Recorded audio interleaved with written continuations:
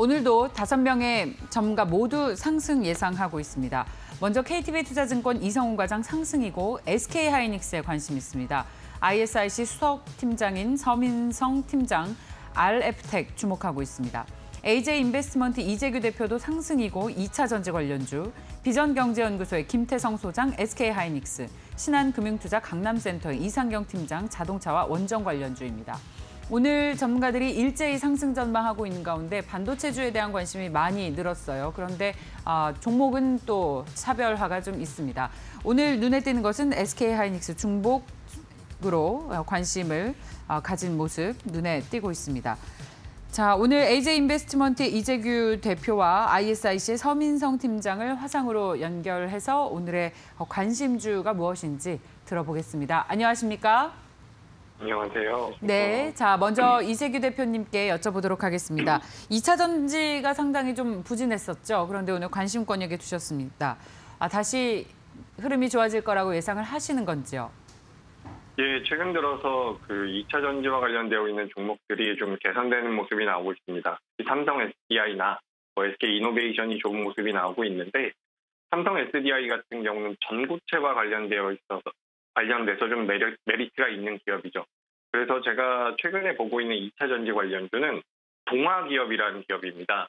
이 회사 같은 경우는 건자재 관련 업종을 업황을 누리고 있는 회사로서 사업부에서 매출이 나고 있는 상태인데 2019년부터 이 전해질 2차 전지에 들어가는 소재 중에서 한 분야라고 할 수 있는 전해질 쪽으로 이제 투자가 시작이 됐고 전고체라고 해서 기존의 전해질 같은 경우는 액체의 성향인데 이걸 고체로 만드는 기술력을 계속해서 개발하고 있는 상태입니다. 아직까지 상용화가 되기에는 좀 시간적인 어, 여유가 필요하겠지만 시장에서는 이런 전고체에 대한 관심도가 매우 높아요. 왜냐하면 전기차에 대해서 뭐 화재 소식이라든지 전기차에 대해서 좀 부정적인 내용이 나올 때마다 이 전해질, 전해질에 들어가는 이 액체들이 좀 문제가 되는 경우가 많습니다. 그렇기 때문에 이 액체에 대한 문제점을 문제점이 여러 가지 있는데 그것을 이제 한 번 해결할 수 있는 게 이 전해질을 고체로 만드는 거죠. 그렇게 되면 뭐 에너지 밀도도 높아지고 충전 시간도 짧아지고 그리고 뭐 운행 거리도 길어지는 여러 가지 긍정적인 효과가 있기 때문에 지금 시장에서 이 전고체에 대한 관심도가 다시 한번 올라갈 가능성이 높습니다. 최근 2차 전지 관련주들이 대체적으로 반등을 시도하고 있기 때문에 어, 삼성 SDI가 그중에서 좀 가장 강한 모습을 보이고 있어서 삼성 SDI에서 주, 주목하고 있는 이 전고체 관련돼서 동화기업이라는 기업이 전고체 쪽으로 2차 전지에서는 부각될 가능성이 있다 생각하기 때문에 시청자분들께서도 이 동화기업이라는 동화기업에 대해서 관심을 좀 가져보시기 바랍니다. 음, 네. 자, 2차 전지 관련주 내에서도 동화 기업에 관심이 있다는 이야기를 해주셨습니다. ISIC의 서민성 팀장께 다음 질문을 드리겠습니다. 코스피가 최고치를 또 기록할 것 같아요. 3,300선을 넘어서면서 오늘 출발할 것 같은데 관심주로 무선 충전도로 시대 수혜주를 꼽아주셨습니다. 어떤 내용일까요? 네, 이번에 제가 관심 있게 보고 있는 섹터는 무선 충전도로 관련주입니다.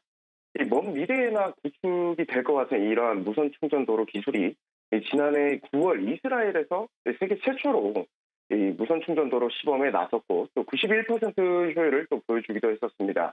이러한 무선 충전도로는 국내에서도 알게 모르게 연구 개발을 진행을 하고 있습니다. 실질적으로 2010년부터 10년 동안 관련된 특허 출원 등록만 해도 그 개수가 300개 가량 되는데요.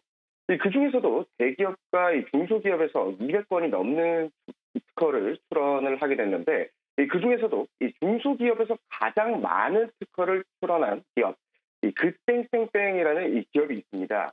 이 해당 업체는 이 무선 충전 전문 기업인데요. 2000년대 초에 삼성 디스플레이와 공급 체계를 맺고 지금 현재까지도 꾸준하게 성장해온 기업입니다. 그런데 이 업체 대표와 삼성 디스플레이 대표였던 현재 삼성전자 부회장과 카이스트 동문이면서 또 이 삼성과는 아직까지도 주요 고객사로 두고 있는 기업입니다. 이 해당 그러한 기업으로 이제 이 해당 기업의 20년이 넘는 무선 충전 관련 기술력과 또 이 특허 출원을 바탕으로 이 무선 충전 도로 이슈화가 된다라고 하면은 이 수혜를 받을 수 있을 것이라 판단되는 종목은 RF텍이라는 종목입니다. 이 동사는 1995년에 이제 삼성전자 납품 지정 업체로 설립한 기업으로 예, 현재 5G 기지국 안테나 모듈 사업과 또 IT 사업 그리고 LED 조명 기기를 판매하는 기업입니다. 이 실질적으로 동사의 매출 비중은 5G도 아니고 LED 사업도 아닌 이 50% 비중을 차지하고 있는 이 충전기를 제조하며 판매하는 기업이라 보실 수가 있겠습니다. 이 그중에서도 무선 충전기를 주로 제조하고 있으며 이 삼성전자에서 납, 삼성전자에 납품하고 있는 그런 기업입니다.